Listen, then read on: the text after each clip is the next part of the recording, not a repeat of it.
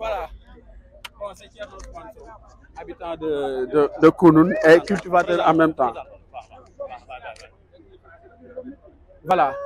Donc, euh, euh, comme vous le voyez, voici des jeunes dont, dont l'âge est compris entre 25 jusqu'à 35 ans. Ce sont des jeunes. Ces jeunes-là n'ont pas choisi de prendre les pirogues pour aller à Ceuta ni à Melilla, ni en Espagne ou Italie ou quelque chose comme ça. Ils n'ont pas choisi de faire l'immigration clandestine.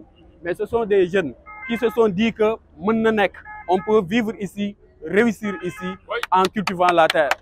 Ces jeunes-là ont besoin d'être accompagnés, ont besoin d'être encadrés, ont besoin d'être soutenus. Parce qu'ils ont la volonté de réussir ici au Sénégal. Maintenant, ah, ils ont choisi d'organiser ce point de presse aujourd'hui pour alerter le président de la République, son ministre en charge, en charge de l'agriculture et son ministre en charge du commerce de leur situation difficile qu'ils sont en train de vivre jusqu'à présent. Voilà neuf mois ou bien une année, ils ont cultivé de l'oignon, du poivron, des choux, etc. Et ça, c'est fini dans les poubelles, c'est pourri. On ne peut pas les vendre. Parce qu'au moment où on doit vendre ça, les marchés sont ouverts aux étrangers. Et ça, c'est pas normal. Je pense que je pense qu'ils doivent promouvoir les agriculteurs qui sont ici au Sénégal. Et quand il y aura une rareté dans les marchés, on peut s'ouvrir à l'étranger. Donc ça, c'est quelque chose que nous déplorons aujourd'hui ici. Et que l'État, dans ses politiques, il doit écouter ces agriculteurs-là pour pouvoir bien régulariser le, le, secteur. Il y a un autre problème, c'est le problème lié euh, au commerce de l'engrais. L'engrais est très cher.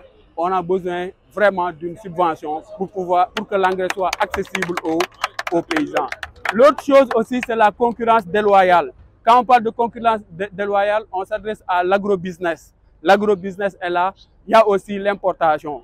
Les produits qui viennent de Maroc ou bien de, la France ou bien de l'Hollande, etc., qui émondent le marché et ça va pousser ces agriculteurs-là à ne pas pouvoir vendre à des prix adéquats leur marchandise. Donc je pense que l'État doit prendre des mesures, des mesures pour que ces gens-là puissent gagner leur vie dignement, comme les fonctionnaires du pays, comme les autres. Ils ont besoin d'intrants également, d'intrants, de, terre également. Voilà. Par exemple, ces jeunes que vous voyez ici, ils viennent divers horizons. Et ils ont un lieu qui s'appelle Promac. Promac, c'est les producteurs maraîchers de Kounoun et environ. Donc ces gens-là cultivaient à l'époque ici, à Kounoun, derrière nous. Mais aujourd'hui, tous ces gens que vous voyez ici, ils prennent des véhicules chaque matin, ils vont mettre là-bas de l'essence pour rouler jusqu'à 23 km ou 40 km pour aller chercher une terre pour cultiver. Ça, c'est une dépense. Les terres là, ils louent les terres. L'eau est très chère. Et après, à la fin, ils récoltent et ils ne peuvent pas vendre. Vous voyez, la situation est là. Hier, normalement, ils devaient faire un sitting au niveau de la place de la Nation. Mais ça a été, aujourd'hui même, ça a été refusé par le préfet de, de Dakar. C'est pourquoi ils ont opté pour ce, ce, ce, point de presse ici même, pour euh, parler de leur ras-le-bol.